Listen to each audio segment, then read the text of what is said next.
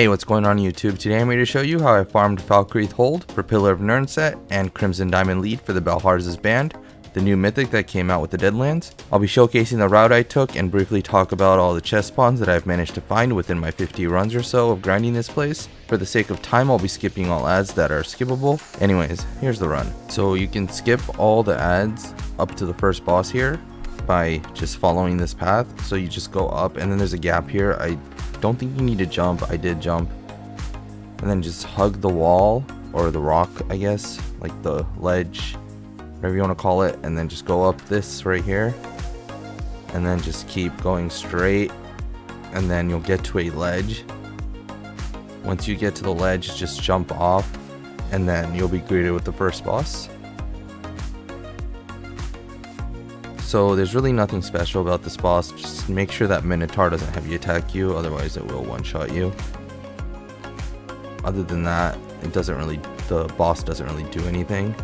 So coming up here, behind like where I'm looking at right now, there's a chest spawn, that's the only one I managed to find in this whole area. There is a Siege Mammoth fight, this one takes forever, the only thing you want to watch out for is just don't stand in front of it when it heavies it will one-shot you. And this fight does take a minute. Because this thing freaking moves around every two seconds. Moving forward, after you go through the gate behind this tree right here, I think there's a chest spawn. Uh, for every run, I chose to hug this. Oh yeah, those meteors, they're terrible. Absolutely terrible. I chose to hug this left side first, but I don't think I've ever found a chest here. So there's that. And then I believe the first chest spawn that I always get is this one coming up. Yeah, right here. So there's one there. And then there's also like this area that I'm going to right now, right here. I've never found a chest here. So for whatever that means.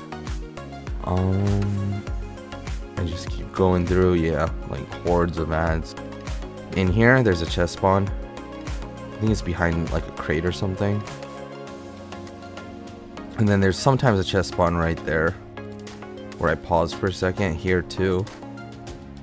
And then on the other platform deck looking thing, yeah, right here. That's another common chest spawn. So usually around here is where I like to die because the next boss fight is coming up and then all the ads can get de-aggroed. So moving on, this boss fight, there's really nothing much to it. You just kill the three ads, pick up their souls, and put them in the corresponding, or as a matter of fact, any of the glowing portal things. And then once you do that twice, and then you kill the boss, that's about it. He doesn't hit hard or anything. So go through the tunnel here. So first off, in this small corridor, past the corridor in this room. There's a chest spawn here. Moving through, there's another small room to the side. And before that, I guess I found a chest here.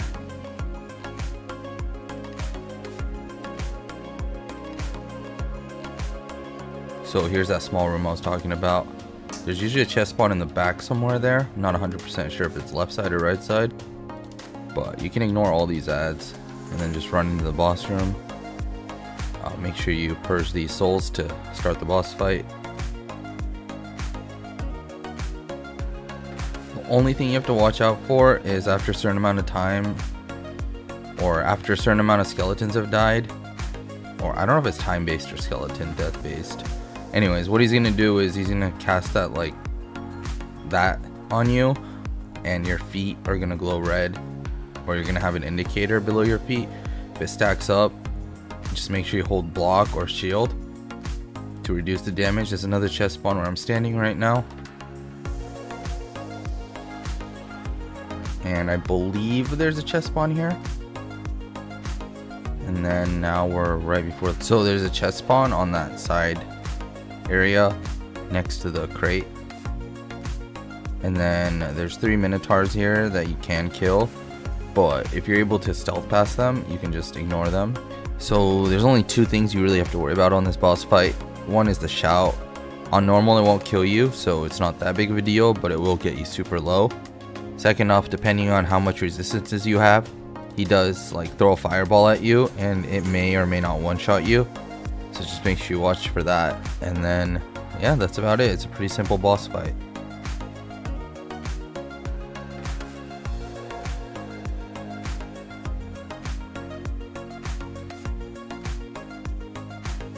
Closing thoughts per usual. This is one of the better DLC dungeons to farm, considering how long and tedious the other ones are. Uh, Pillar of Nirn is a great set. It could be bodied or run on jewelry and weapons for mag and stam.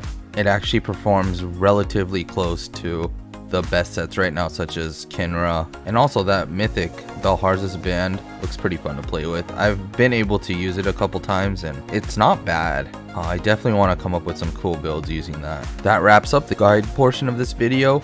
I'd like to say thank you for watching my video and if you have any questions or comments, please feel free to leave them in the comment section below. If you'd like to see more uh, dungeon guides with chest locations, uh, let me know as well. Uh, consider subscribing if you haven't, and thanks again.